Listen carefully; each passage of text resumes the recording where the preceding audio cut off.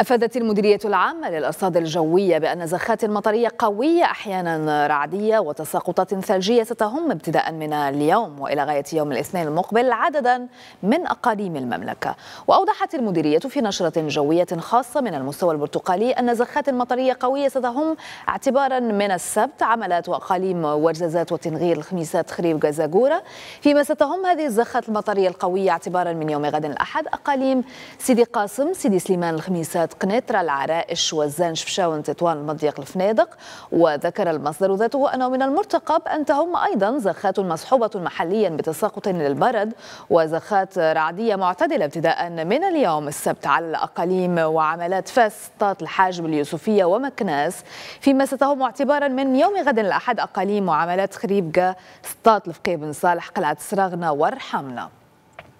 وأضافت المديرية أنه من المرتقب أن تهم تساقطات ثلجية ابتداء من علو 1400 متر اعتبارا من اليوم السبت وإلى غاية يوم غد الأحد عددا من الأقاليم.